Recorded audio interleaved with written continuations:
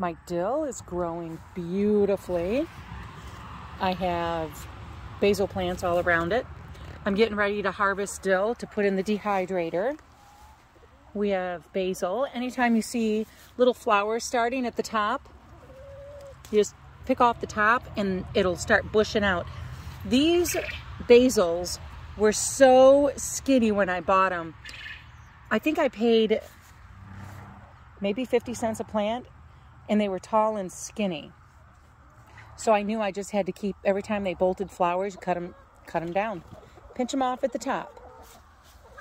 And I had some beautiful Swiss chard, but every time we let these ladies out to free range in this beautiful yard, they find their way over here and eat down the Swiss chard.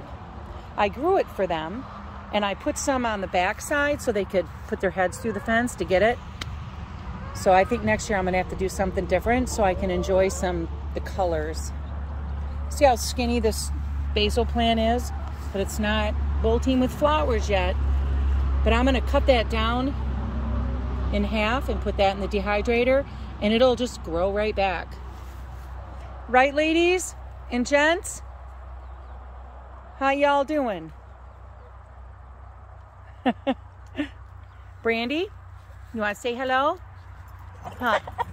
Oh, nobody's here. Oh my goodness. I used the word hello and she thinks somebody's here. All right, thank you. All